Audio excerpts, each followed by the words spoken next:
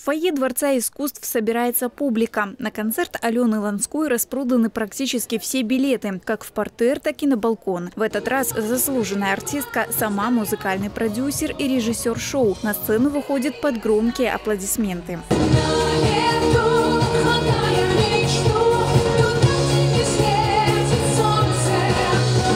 Певица выступает под аккомпанемент в сопровождении балета. Оригинальная сценография, хореографический антураж и меняющиеся образы артистки. Композиции здесь звучат на русском, белорусском и английском языках, плюс хиты и премьеры. Она пела от души, мы хлопали, не жалели сил и очень приятно было, получили массу удовольствия. Спасибо ей большое. Прекрасный концерт, великолепный звук, свет, балет, вообще шикарно все.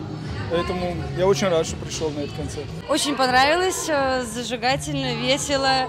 А, ждем еще в гости. Васильковое небо звезда белорусской эстрады исполняет акапелла. В программе также «Тишиня», «Куточек Беларуси» и «Папа Расцветка». Прямо со сцены Алена Ланская делится со зрителями своими откровениями и воспоминаниями из детства. Мне безумно приятно, что по итогу а, публика была счастлива и была довольна. Так это или нет?